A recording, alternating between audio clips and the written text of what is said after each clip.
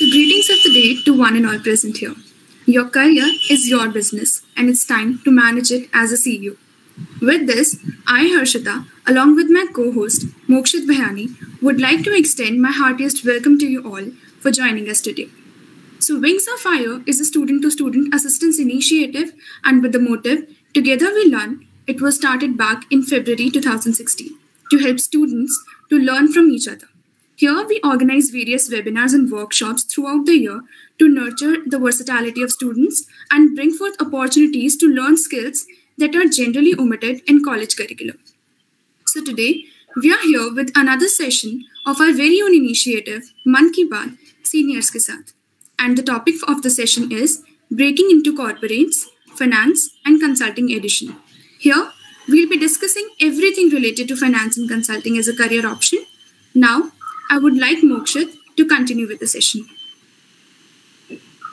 Thank you, Harshita. So, before we begin with today's much awaited session, it falls on me to formally introduce our esteemed panelists for today's Finance and Consulting Roundtable. Besides being alumnus of SRCC and former members of Wings of Fire, both of them have two things in common a stellar academic record and an enviable work experience. Our first guest of honor is Bhumika Sankhla. She is a CA by profession and an incoming business associate at BCG. She also has varied articleship and industrial training experience at Deloitte and ABG, respectively.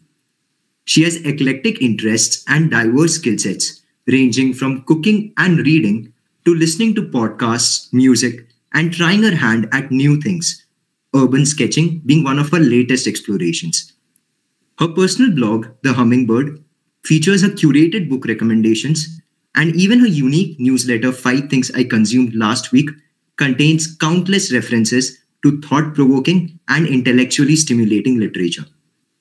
She has embodied the very spirit of striking the right balance by pursuing her passions and conducting counseling sessions alongside growing professionally in her career. Thank you, Bhumika, for joining us today.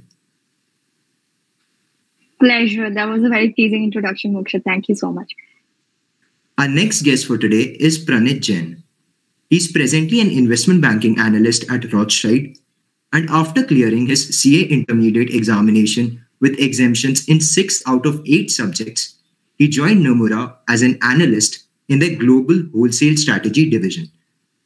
Besides his rich experience at these much sought after companies, he was an active member of our college societies and proactively undertook internships in KPMG and Spark Capital Advisors while in college. On behalf of the entire team of Wings of Fire SRCC, I thank both of you for gracing today's session of Mann Ki Baat Seniors Ke Saath with your august virtual presence and sparing your precious time to share nuggets of wisdom. So, without further ado, I would now like to ask the first question, which has boggled many of us. So it is very common to see that people are inclined towards finance and consulting. So, how did both of you realize that it was your calling? Bunka, do you I want think to... Pranit should go first. no, you should go first. Yeah. uh, right. So, I think, um, to be very, very honest, I was as confused as most of the people are at college, right?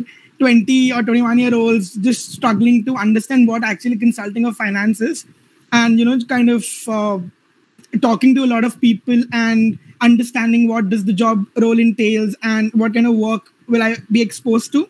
So firstly i think to to kind of make a decision whether consulting or finance or any other thing that you want to really pursue during those three years of college you really need to undergo internships in different aspects or different fields to understand what is something that really excites you or interests you, which really helps you to kind of understand that probably this is something that I, I can probably do for two years at least after college, right? So that is one of the very important factors for you to explore before getting into that job thing specifically.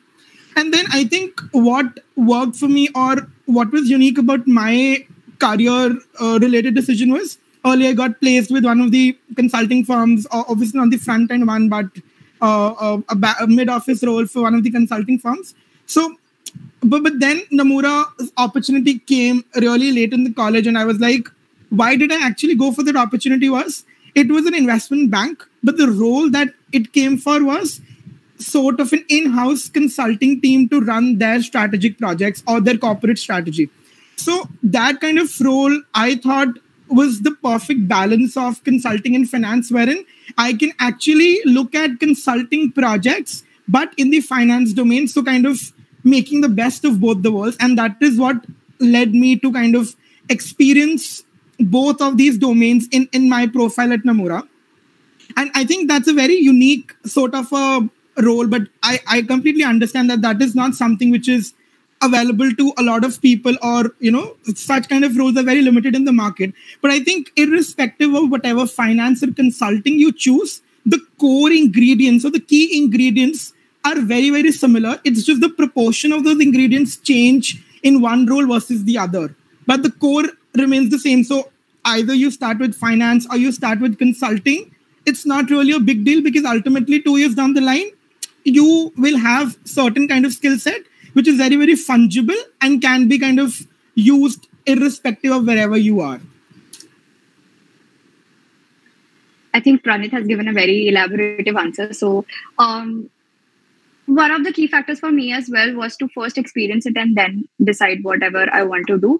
Finance was definitely an inclination, and that's why I did CFA. But then, uh, when I was working with ABG, especially in their corporate strategy stint, I kind of realized that this is my domain. And because it is so diverse and multifunctional because what, when you're working in corporate strategy you're looking at strategy but you're looking at other projects as well. For example mergers and acquisitions for example business valuations etc so it's a very diverse profile and that i thought suited me better than any other role. And that's why i chose consulting because when i was in abg i was like an internal consultant to the group which pranit also mentioned. So similar role but uh, I wanted to explore it further. And of course, I mean, consulting with the big giants is kind of a lot of exposure. So yeah, that's why I chose consulting. Easy. okay, so from both of you, I can gain that both of you had a mix of both the finance and the consulting world. So with respect to mm. he was in a role where basically a financial consultancy sort of thing was involved. And in your case, also you were an internal consultant, but at the same time, there was corporate strategy involved. Okay. Yep. Yep. So the next follow-up question is what skills do you feel provided you the necessary head start in both of your respective careers? Mm. For me, so I come from a CA background, all right. So for me, it's gonna be different than planning for sure. Uh, in my articleship, most of my work was Excel but when i was working in corporate strategy all of it was on powerpoint as in many industries. So excel gave me a lot of edge because i think once you are into cn once you are into articleship you are just working on excel day in and day out. And so your hands become really like you become really really fast at excel which i don't see in a lot of mba ca- candidates no offense but yeah it comes with practice. So head start was excel. And um, definitely i think um, IPCC, CA, BCom, whatever gives you a lot of uh, background in how financial statements work. So once you're working in strategy, you're obviously looking, if you're say doing competitor benchmarking, etc., you're looking at financials. But then you need to understand what line items need to be compared to what other line items. So that kind of uh, core competency in understanding financial statements definitely gives you a lot of edge. Yeah. I think uh, very similar experiences. Uh, I think the core or the most important thing that you should really, really learn in college is Excel and PowerPoint. You should be extremely proficient with Excel shortcuts and, and you know, PowerPoint shortcuts, how to just use all of those Microsoft Outlook tools with, with keyboard shortcuts and not really use mouse. So I think that really forms a part of how your first four or five months of your job are going to look like. So, you know, to just give a perspective, when you're at the bottom of the pyramid, right out of the undergrad college, very few organizations, or like most of the organizations, at least initially, will really not give you any kind of strategic or work that really requires you to think a lot from a strategic point of view. So you are really into execution and to ensure that you're extremely good and efficient in at execution, not just for the organization's benefit, but also from your perspective. Like, you know, the more efficient you are, the more time you have for yourself and le- lesser number of hours you have to spend at work. So I think Excel and PowerPoint is like the holy grail that you should definitely ace during your college. And I think apart from it, I think something that you should really, really uh, skill that is very important is I think uh, being, you know, there should be no inhibition in talking to a lot of people or kind of creating or building relationships, professional network with a lot of people. I think that also takes you very long, irrespective of whatever uh, designation you are at. So, co- relationship building, I think, is also extremely important. Okay, so three things which I could gauge from what both of you said is that firstly, get your core technicals right uh, with respect to the financial statements and all the accounting that you are studying. Secondly, have skill Yep. sets in terms of the technical things like Excel and PowerPoint. And at the same time, you should be good at building networks and connections. Yeah. Okay. And building like and working in teams basically. So stakeholder management and communication, basically. Yeah. Yeah. Okay.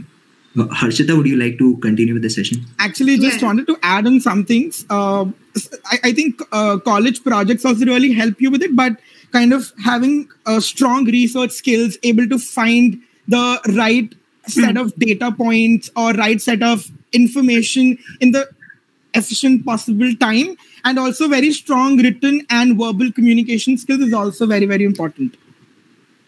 Definitely. All right. Thank you for thank you for telling us the importance of all these things. So I would like to ask the next question, which is it's often advised to work in a finance or consulting role at the beginning of your career in commerce. So is it true? And if it is true, then to what extent? That's a tricky one. um, okay. See, the first, first, very first point is um, if you're getting a role, it's good. But if you're not, so for a lot of people, especially if you are in SRCC, I'm assuming most of people on this session would be. Um, cracking a consulting role is not very easy. So if you get in, it's the best head start only and only because you get a lot of exposure. If you are surrounded, see a lot of your polishing will in the beginning of your career will depend on your company and the people you're surrounded by. So the kind of company you join in matters a lot.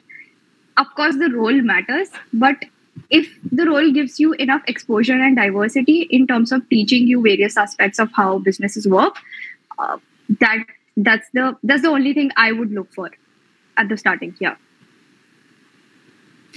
So I think I can possibly, you know, firstly, irrespective of whatever kind of role you get, as Bhumika mentioned, doesn't matter if you have the right skill set, but I can also go and list on some of the things that really help you if you kind of are, you know, get into some of those very coveted roles right out, out of your undergrad degree. So, for example, you know, for example, if you are into consulting or IB, the doors for any sort of profile that you want to, obviously, apart from the text related profiles, really open up to you. A lot of people, whether it's private equity or venture capital or corporate strategy or any startup CEO's office or corporate development sort of roles, or for that matter, any anything that is management or administrative in nature really opens up and they really value your IB or consulting experience because the kind of skills that you develop and the kind of grooming that these organizations or roles provide you is really, really unmatchable. Like, I'm not saying you can't really get that anywhere else, but you definitely can. But I think that's what,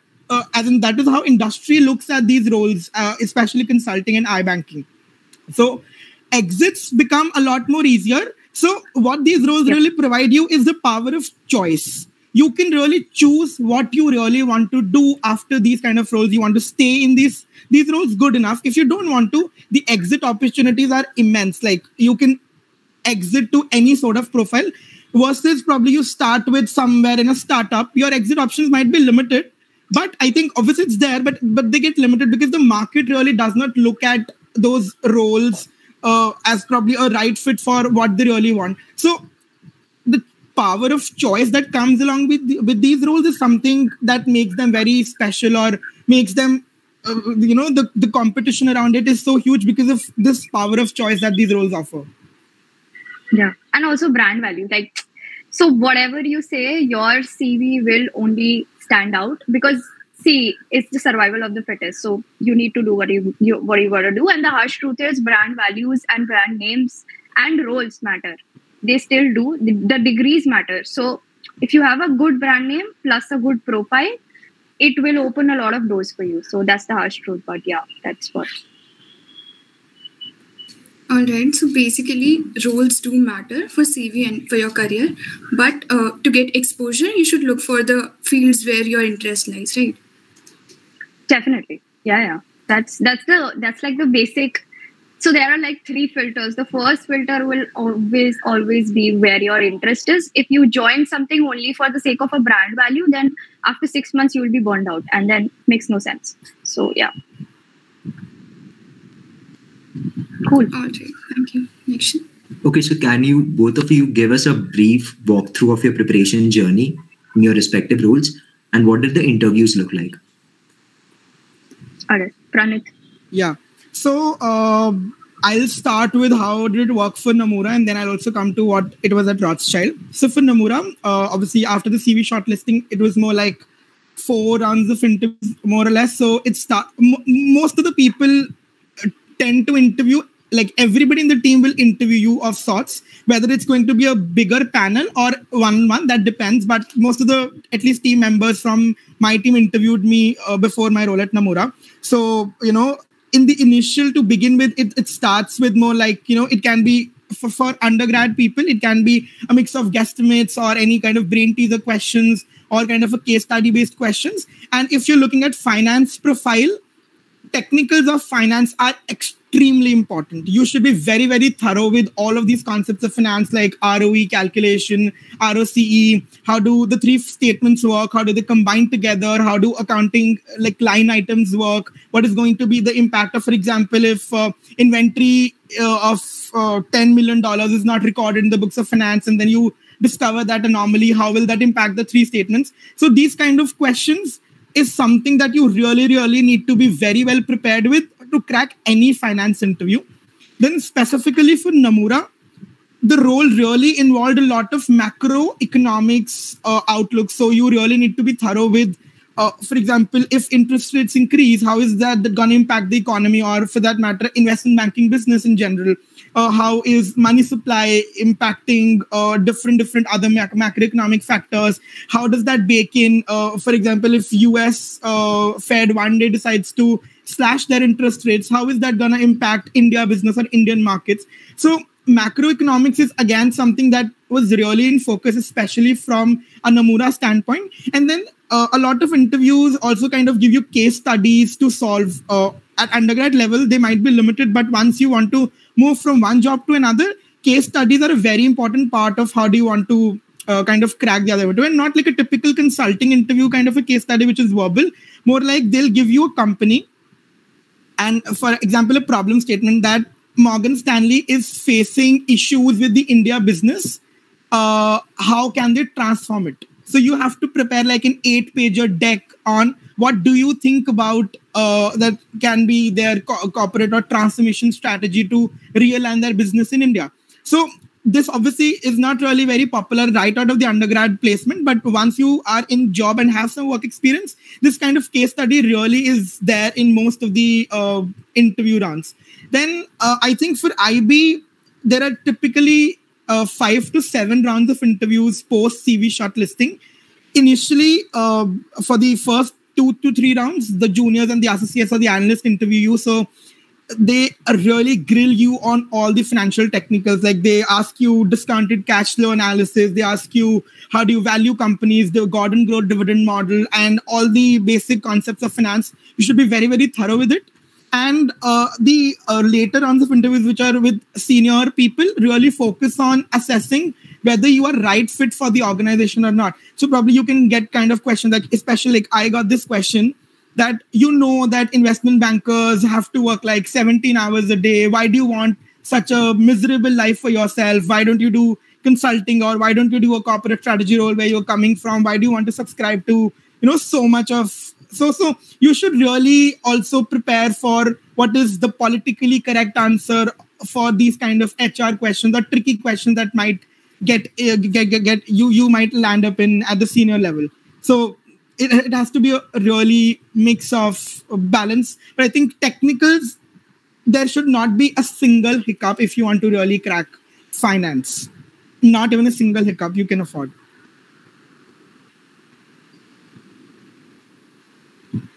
Yep. I think very, very similar experiences. So answers are also very similar.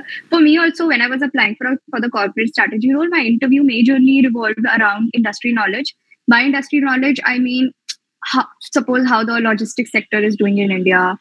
If you are, if you want to invest in India, which sector would you invest in? So basically knowing how different industries are working and especially now because now you have fintech, you have consumer tech, so you have plus tech everywhere. So you need to be very thorough with that part of it, that that part as well.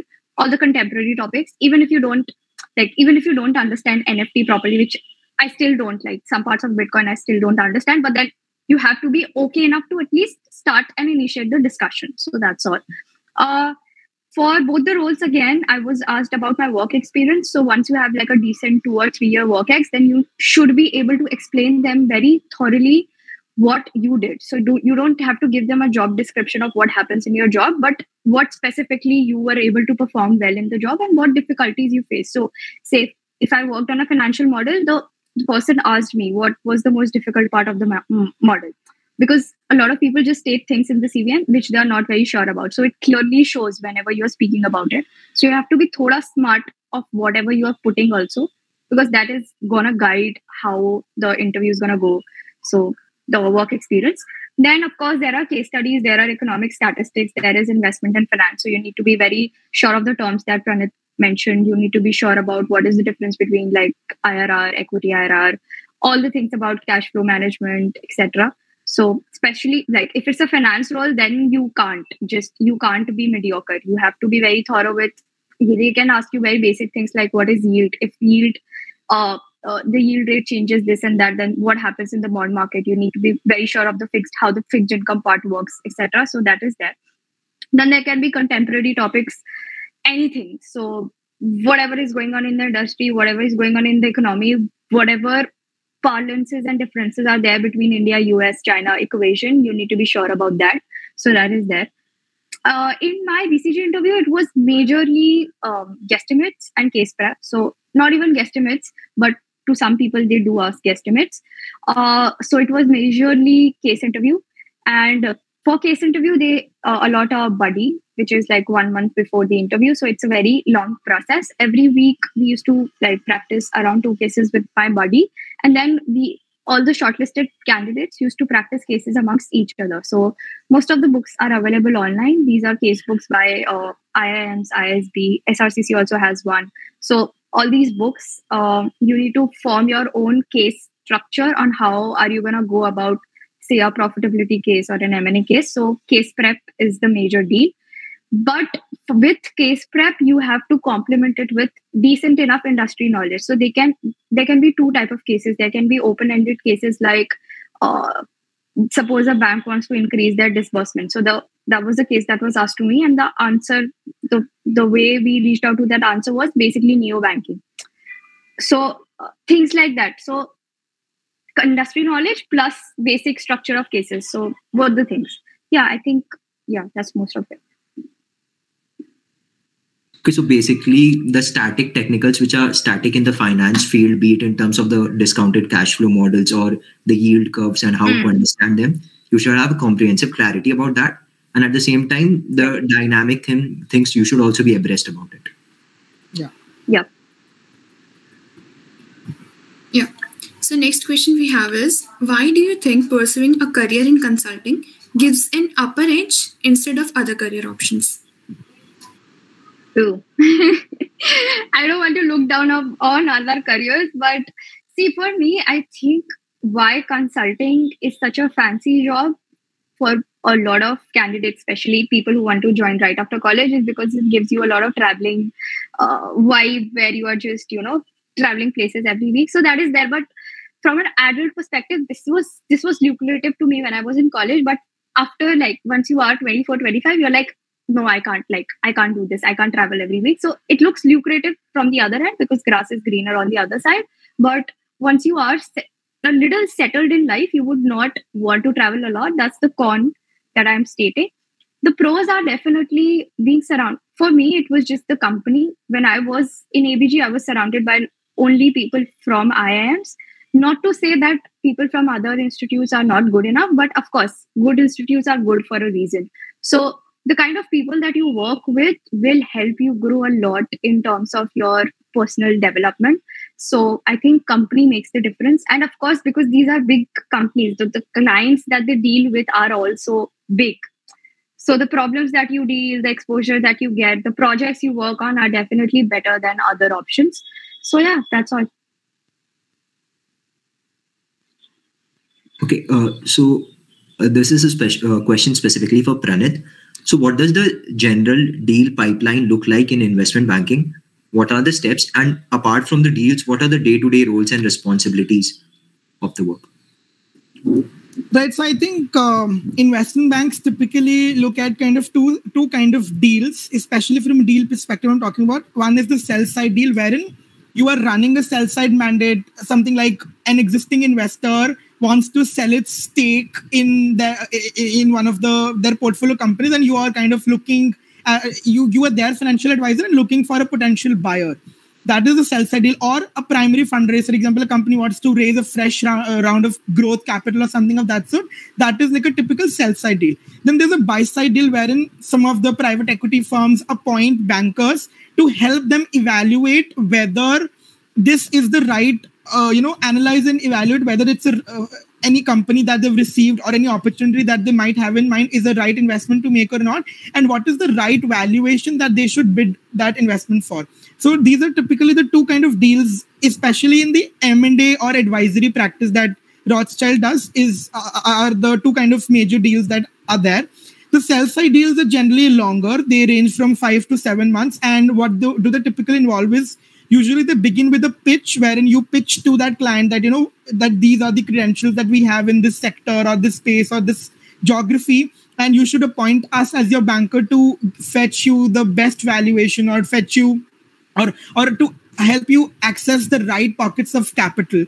And then once you get that deal you start with you you know you uh, interact a lot with the client, try to understand their company and their business, and then start preparing the marketing materials, or as they're called in the IB parlance, so collaterals, uh, which kind of usually takes a month's time for you to make those uh, collaterals.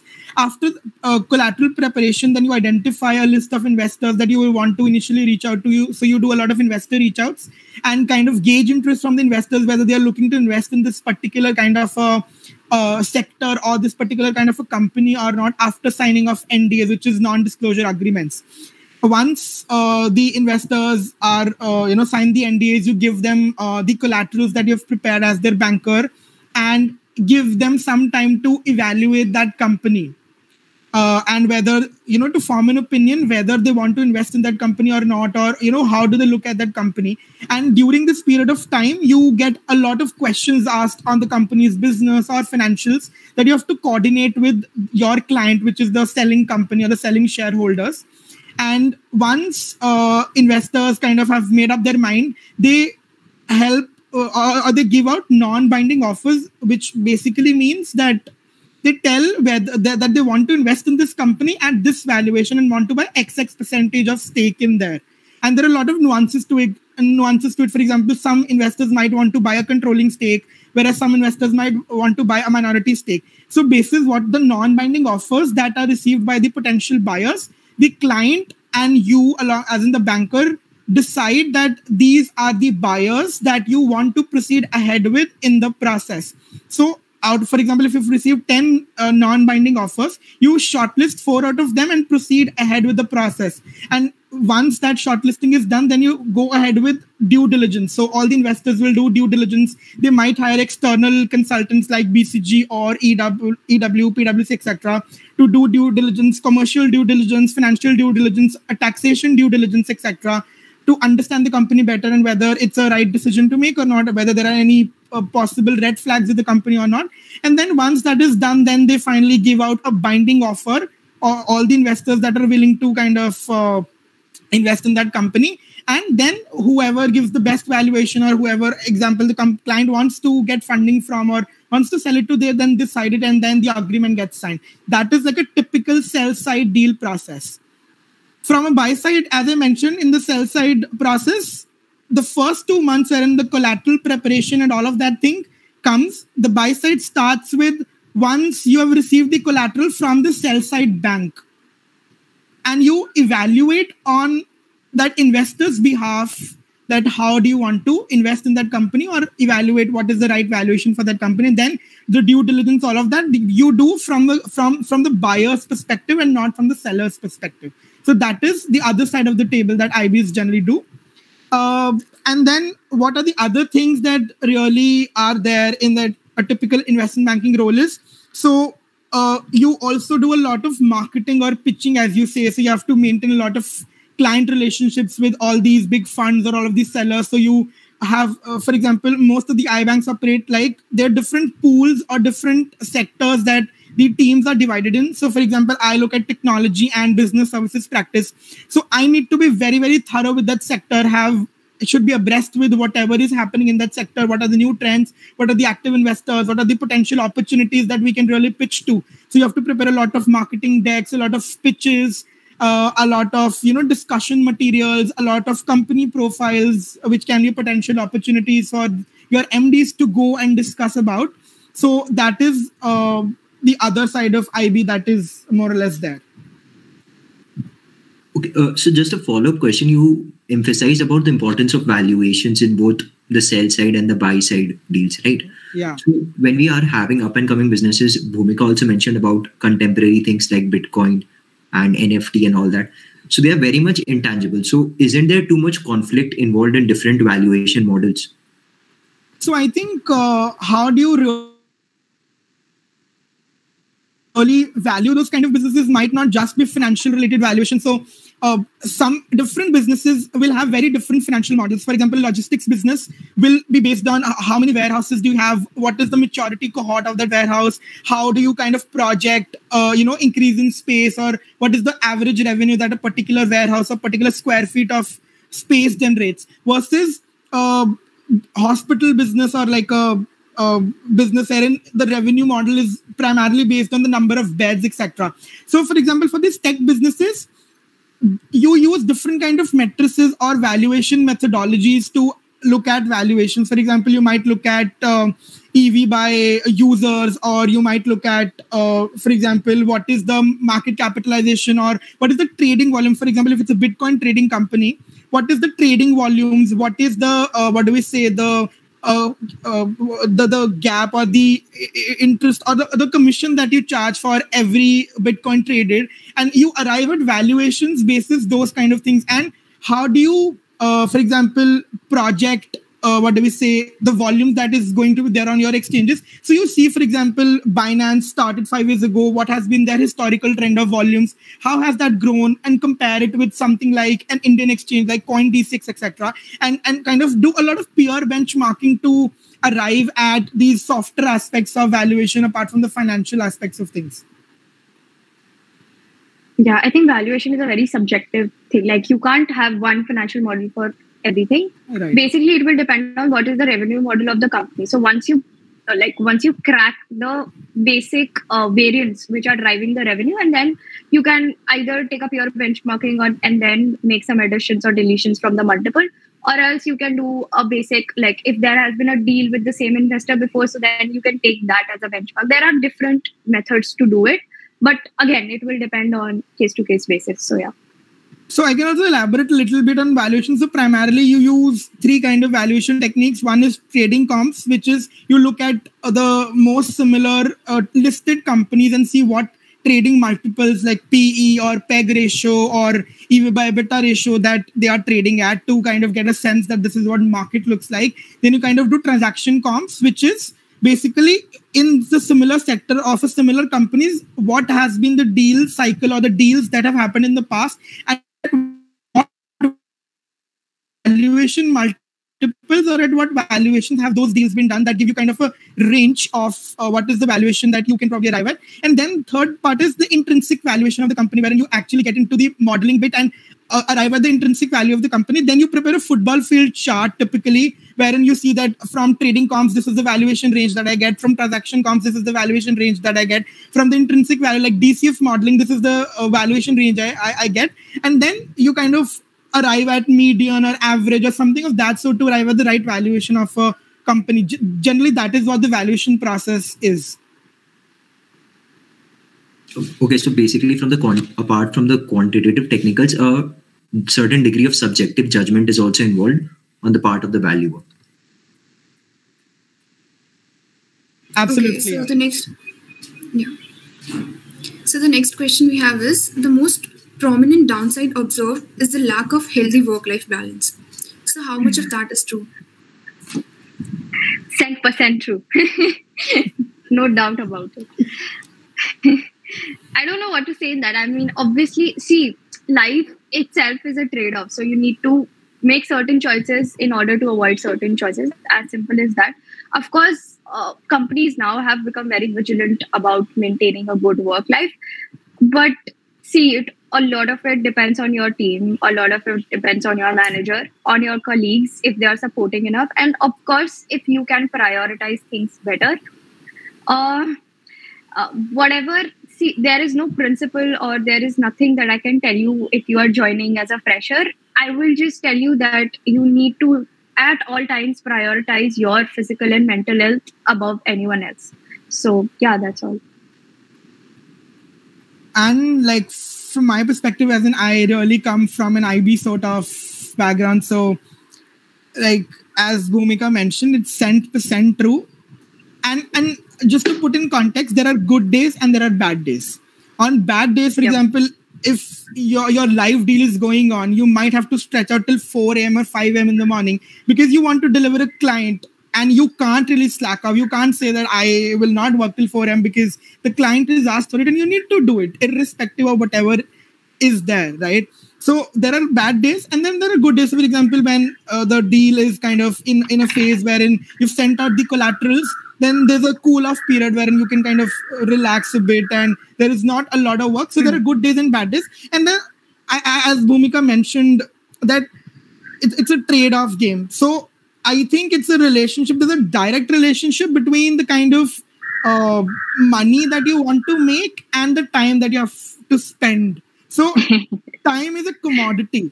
Look at it as a commodity. You're paying a price uh, for the time that you spent and as in you're getting something in return for it. So you have to Yeah. look at it from that perspective. You might want a healthier work life balance but obviously you can't expect that you you'll get the best pay package that is there. So there's always going to be this decision choice that you have to make for yourself. Definitely. Okay, okay, so basically, uh, to maintain a proper healthy work-life balance, one needs to know how to prioritize things, right? And also, Yeah. as as Pranit mentioned, that there are good and as well as bad days. So yeah, thank you for this answer. Also, uh, as Pranit mentioned, I was reminded that I read it somewhere that uh, investment banking is like a marathon with multiple sprints. that is definitely true. So, especially for our team, it's not like you're always, for example, there's one deal going on and you're only working on that deal. You work on multiple, like Hmm. couple of deals together as well. So one day you're working on one deal, the other day you're working on the other deal because those deals are going in parallel. And obviously there's a short sprint, so a deal generally closes out in like five to seven months, right? So once that is done, you'll get another deal and you'll have to run that sprint again. And then the one that once that deal closes, you have to like move on with the other deal. So it's a part of the the job profile that you've subscribed for. And uh, I think since uh, it, it also works in uh, sector fashion or pool fashion, especially in the iBanking zone, you also over time kind of develop a lot of sector expertise and then you become a lot more efficient once you've started to look at a lot of companies at that sector you become more efficient. So with efficiency obviously the kind of hours that you need to, need to put in also reduces but that happens over time Okay, so earlier we had touched upon uh, the importance of having good communication skills, be it verbal or written. And even Pranit also mentioned that even in investment banking, you have to build parallels, pitch decks, where you present ideas and where you present investment prospects. So, a question to Bhumika that what do you think was the importance of storytelling and communication in cracking the consulting jobs? Hmm. And how did It college matters. and blogging, which you do, help you in it? Yeah, I think it matters a lot. College society specifically helped me because uh, even in Wings, when we were working, we were definitely making presentations. Obviously, not as good as the ones that I make right now, but yeah, decent enough. So, yeah, I think these kind of skills definitely help you because once you are, so once I entered ABG, my focus shifted from Excel to PPT. I still had a decent enough pick on what should the color profile look like how should the alignment be? What should i bold? What should i not bold? Things like that. And it makes a lot of difference because you can clearly see the difference between someone who has not gone to college and someone who has gone to college and worked in societies. There's a difference in how they communicate as well.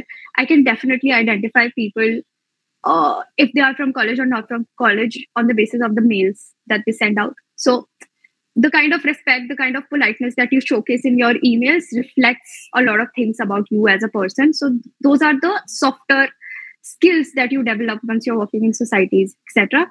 In blogging specifically, my writing improved a lot because once if I'm writing something, if I'm say recommending five things a week, I am definitely reading 20 and then I'm shortlisting them to 50. So uh, reading uh, speed uh, improved a lot. I was reading multiple things at a certain point of time which and reading is like a superpower because it gives you a lot of perspective in a lot of things.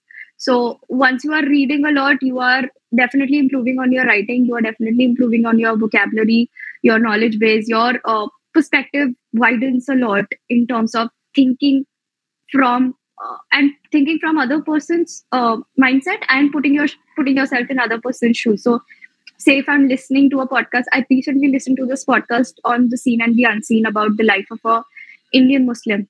And I've never thought of it that way. Like, what would be the perspective of a person who is a Muslim in this country, especially being a minority Muslim in a country like India? And it it opened my eyes. So, you know, that kind of helps you. Also a very underrated thing, but that kind of helps you being an interesting, interesting person when you are at a party or you're just conversing or making friends in office, right? You can't be a boring person once you are surrounded by a lot of people. So yeah, that's there. Yeah, definitely. I can relate to that. That it gives you a lot of talking points, and as you said, that it gives you a lot of perspective also. So, just to share, in Hmm. one of the interviews which we had for our internship season, I was able to answer Yeah. a few questions because I had read something out of the syllabus. And at the same time, Yeah. when they gave follow up questions, I was not able to answer because I had not read enough. yeah. Interesting. Yeah.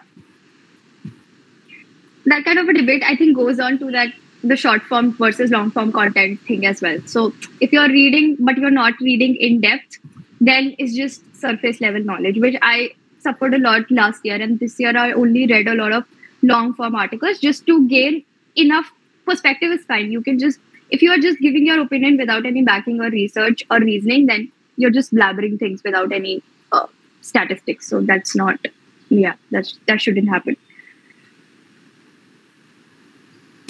All right, now we have a general question. So, how do you guys, as individuals, try to maintain your mental health? Okay, Pranit, you go first. so i think uh, what has really helped me or like how do i approach it is i have I, I have a core group of people it can be friends it can be family it can be your cousins it can be anyone right but you need to be very very comfortable with them and you should be in a position to vent out whatever you feel whenever kind of your approach that अब मुझसे नहीं हो पा रहा है as simple as that so Hmm.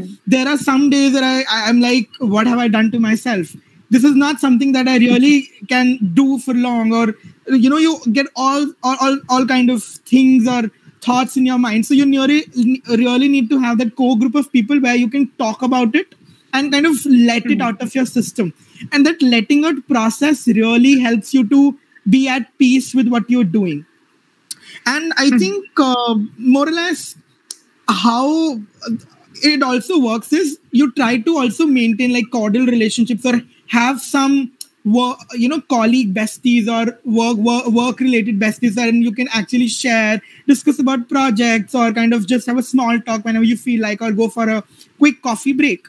So that also really helps you to kind of stay sane during extreme working hours or you know very critical time sensitive projects when it's it's all just in a chaos.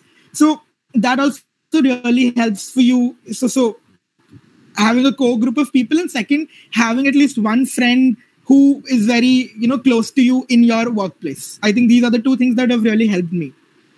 Yeah.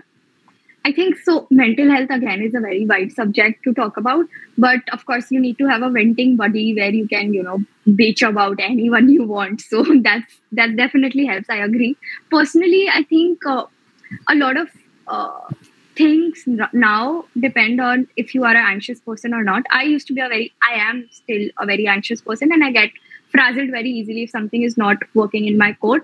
But um, in terms of uh, definitely thinking more about my emotions and why do I re- react the way I react, identifying your attachment styles, whether you are an anxious attachment person, whether you are uh, secure about your relationships or not. So I think it's a lot of it, the journey is all about understanding who you are as a person.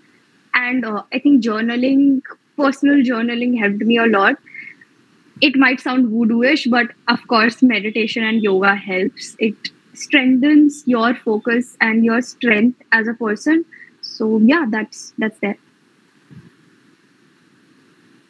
And I okay, think, so sorry, uh, I, one thing that I also am able to recall is what I used to do was to initially begin with like I was in a place where I was like very difficult. The first two months were extremely difficult for me. So I used to kind of break it down like that I need to get to the end of this day. Not worry about that I have a lot of work or a lot of things to do the next day. Just break it down day by day and take it like that, and then you'll you'll get used to that process. Definitely. Alright, so basically, what I understood is uh, having right set of people is important with whom you can share your feelings out, right? Okay, so yeah. I also have a follow up question regarding that also. So, to what extent will your organization help you to keep your mental health safe? Bhumika. Very tricky. See, um, organizations now have a very flexible policy, which especially the so when I was in ABG, they were very flexible about working from home. If I have to say visit a doctor or do my own things i can personally reach out to them and they are very flexible in understanding your priorities. So that is there. An organization can only help you to a certain extent is what i feel. Obviously there can be flexible policies there can be more. So in bcg we have this thing where after every project you are asked about your experience on that project. And if you're not getting enough time to work on other things you can definitely reach out to your team and they will help you. But um, they can only be there to an extent. You need to be there for yourself after a point. So yeah. Yeah that's all. That's all i have to say. Uh, i think totally agree with bhumika. I think you should not really have any expectations from your workplace you seem so disappointed Pranit no no no. i it's, it's an industry wide practice uh, across investment yeah. banking uh, investment banking mm profile by its nature is something very harsh and not just I banking. finance in general is very harsh people are very Definitely. transactional because they are yeah. ultimately doing transactions at the end of the day people are very transactional it's quid pro quo and people you know mm. they will try to pamper you with all the luxury that is there you know they'll take you to offsites they'll t- take you for vacations like bcg has this project offsite kind of a thing that they do a lot, yeah. like i think couple of times in a year or something or you know they'll help hmm. you with a, a, a chauffeur driven car or probably they'll they'll give you uh, access to the best of food but that is what their approach to you know kind of pamper you with the kind of efforts that you're putting in but from, from a mental health perspective i think the kind of kick or the kind of experience that you have is very very different and, and i think you really need to solve it for yourself versus somebody else solving it for you so you need to prioritize you need mm. to hmm. understand that what kind of relaxes you so for example having a hobby at the end of the day makes you know having a me time to pursue hobby kind of relaxes you and that you need to decide for yourself what can be done and having an expectation from an organization, I don't think so. You should really have it because at the end of the day, it's Hmm. that is not what they're really concerned about. Definitely. Yep. So we have a few questions from YouTube as well. So if you guys could spare a few minutes, can we take that up? Yes. Yeah. Okay. So uh, the first question which we have is, what are your views on jack of all and master of none? Is this approach good to make it into IB or consulting? It is. I don't know if a lot of so I don't know a lot of people don't know about the whole saying is what I've noticed. So it's the, the whole saying is jack of all trades, master of none, but still a master of some or something like that. If I'm not so basically the essence is what I feel you need to be multi potentialite in today's world. No matter if you are in finance, you need to still be able to understand industry wide things very, very, very minutely.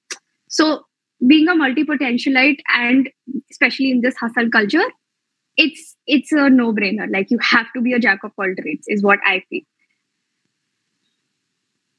I think very similar experience. I think you need to know about a lot of things, but obviously you need to kind of develop a niche for Hmm. yourself for you to excel in any kind of Yeah. practice that you are. But obviously you can't just ignore the other facets of things. So create a niche for yourself, but definitely be aware of what's happening around the world.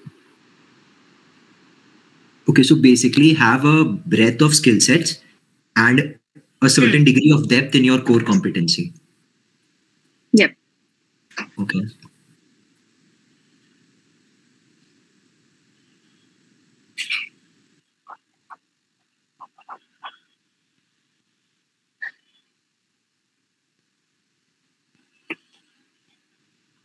We have one more question on YouTube. So, what do you guys think are the PE exit opportunities from investment banking and consulting? I think we have discussed it. Like there are immense opportunities. Especially, I know people who join consulting, and I don't know about IB, but there are definitely people who join consulting only to take an exit to a PE or a VC. So that is there. There are obviously people who, like, in the beginning of your career, you can't expect Sequoia to hire you without any work ex or without any degree. So that's not going to happen. So you take an eventual process where you have worked with a couple of organizations and then you take an exit. So consulting is the best way to do that. But of course, you can also probably start with smaller VCs that are there in Delhi, Bombay, whatever, and then you can probably make an exit to a larger PE or a VC firm. So the opportunities are immense, is what I know. I kind of have a slightly different view on this.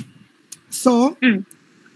the PNVC is something like consultants or iBankers really want to get into.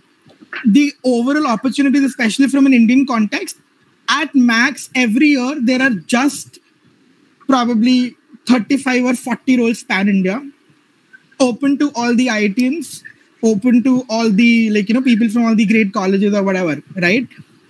and Yeah. there's a pool of some 500 600 consultants across mbb then there's a pool of some 100 or like 80 90 100 ibankers from all the global banks. So to get those 35 roles you are competing Hmm. against against a pool of some 600 700 people. So if you realistically calculate the probability the probability of you cracking it is very less. I'm not saying people Yeah. haven't made it. People definitely have made it. And the pool is this consulting or ibanking or some product experts like uh, you know people have really worked in a startup and know that saas product extremely well.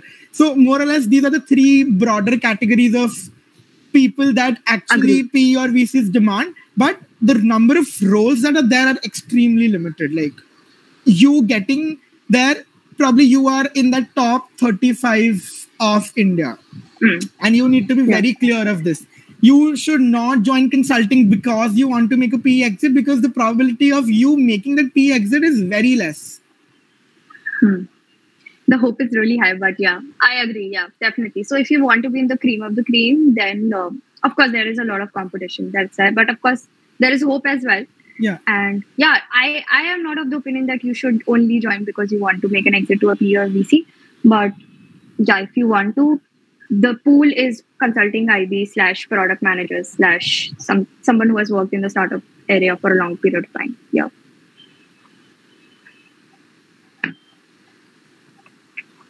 Okay. So uh, now I'd like to hand over to Harshita to conclude today's session. Yeah. So with this, we are uh, officially over th- with today's session, and it was a great session. We got a lot of insights from you, from your experiences, from your working experience, from mental health, and many more. So it was a great session. Uh, I would like to thank you both for taking out your precious time for the session and guiding us. It was great talking to you. Thank you so much. Thank you so much, guys, for organizing this pleasure show. Thanks, guys. I hope you kind of, Thank you. you know, we, we, were- we would have some value add to you guys. yeah. Especially on a weekend. Yeah. I hope we did we did we did not bore you a lot, but Yeah. Yes, we really appreciate the nuance that you all presented in your answers. yeah.